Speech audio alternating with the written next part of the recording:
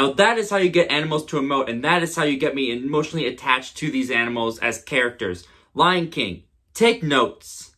So last night I decided instead of going out to the movies that I would save a few bucks and get some money's worth out of the bucks I've already spent on Disney Plus. And on Disney Plus they have a new live action remake of one of their classic Disney animated films, Lady and the Tramp. So I decided since I already paid for the service and that was technically free and I didn't have to go see a new movie and spend some money, I would just stay in last night and watch Lady and the Tramp.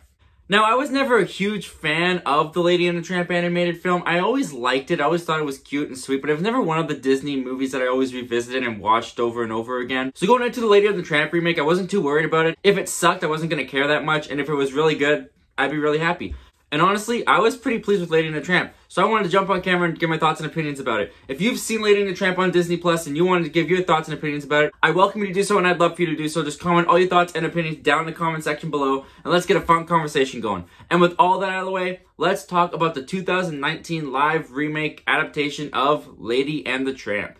So as mentioned before, Lady and the Tramp was released on Disney Plus, directed by Charlie Bean and starring Tessa Thompson as Lady and Justin Theroux as the lovable street dog Tramp. When a household cocker spaniel named Lady meets a street dog named Tramp, their worlds collide as they embark, no pun intended, on a journey of friendship and romance. So as mentioned before, Lady and the Tramp is not one of my favorite animated Disney movies. I always thought it was just kind of okay, kind of sweet, kind of cute, but not one that I constantly went to to revisit. So I kind of skimmed through the original animated film in order to get familiar with it to see what this new live adaptation was going to be like compared to the original animated film.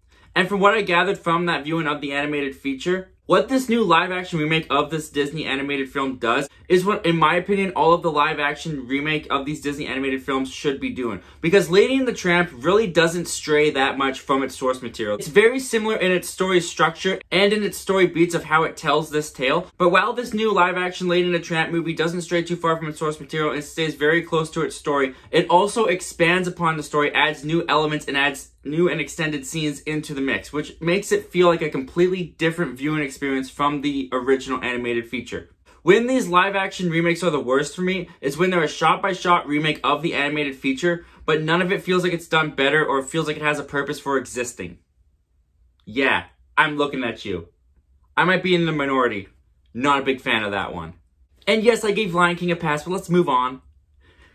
That's a balance that I thought Aladdin found pretty well when it came out. It definitely had parts where it felt like it was copy and paste from the original movie, but it also had parts that feel like they were new and fresh and they were making it kind of their own movie, especially with Will Smith as their genie. In Lady and the Tramp, while they follow the story beats and kind of the story structure of the animated feature, by having these scenes extended and also switching up the locations and the way that the scenes are done, makes it feel like a different viewing experience from the animated feature. I didn't feel like I was watching the exact same movie again, which I really appreciated about this new live action Lady and the Tramp movie. They're able to make it have the heart and feel and what made the original animated feature so beloved, but they were also able to do things and change up the story enough to make it feel like their own and make it feel like they weren't just trying to do the same thing over again.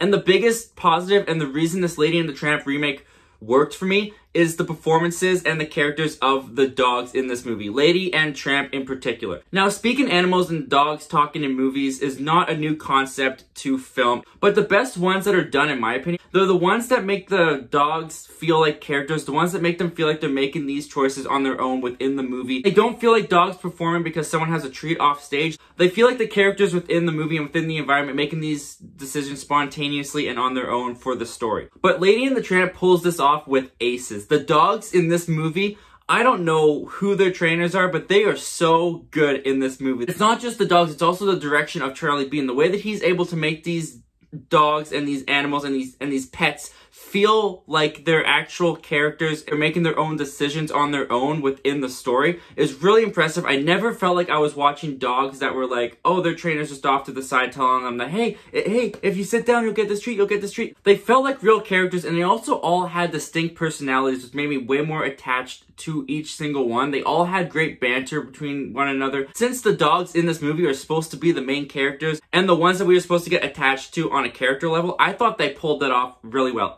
especially with Lady and Tramp. They nailed the casting of not only the look of these dogs, but the way that these dogs play off of each other, it's really weird to judge chemistry on dogs, but I felt the chemistry between these dogs. And it helps that they have those CGI faces that make them emote and talk and feel more like actual characters.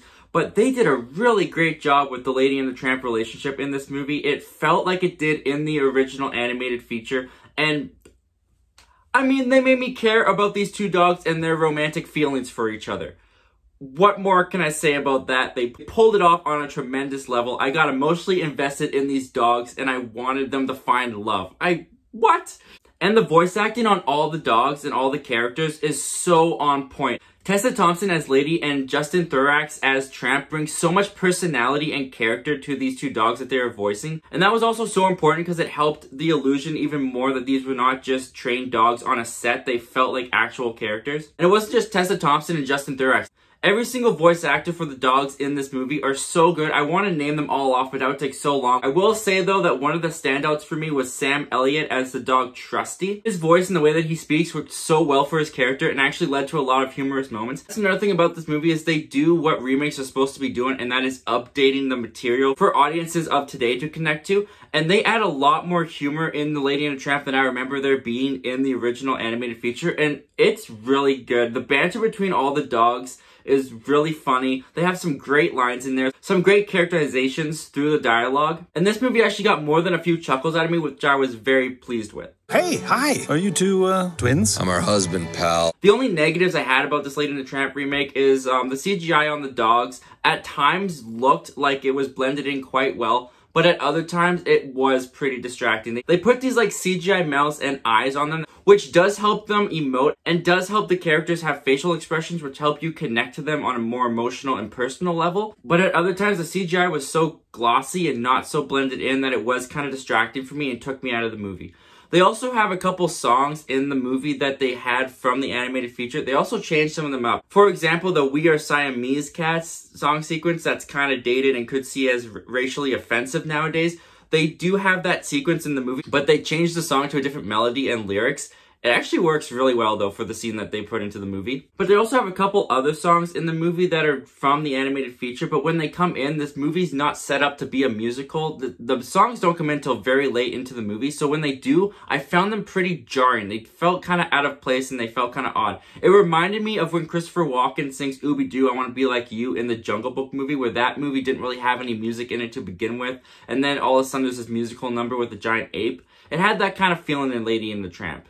But besides those few negatives, I actually really enjoyed this Lady and the Tramp remake. It did what the Disney live action remakes I feel should be doing. It updated the material, it stayed close to the source material, but it felt like it made it its own and I didn't feel like I was watching a copy paste of the same movie that I've already seen before, which I really appreciated. It's really cute with all the dogs and the performances and the relationship between Lady and Tramp, I thought they got perfectly right and that's really important and essential for the movie, so good on them for that. The casting of the dogs are all great. They look like they're right out of the animated feature. All the voice acting top to bottom was great and brings a lot of character and personality out of these performing dogs. It's really cute. It's really great family film. If you have Disney Plus or you're thinking of getting to Disney Plus as a trial and you want to have a family movie night, I think that this is a great movie for the whole family to enjoy. For me personally, it's among one of my favorite of the Disney live action remakes that they've done so far. Anyway, guys, those are all my thoughts and opinions on the 2019 remake of Lady and the Tramp. Have you seen it yet, or are you thinking of seeing it? Comment down below, let me know. I want to know all your thoughts and opinions about this movie. And as always, guys, thank you so much for clicking on this video and checking out my channel.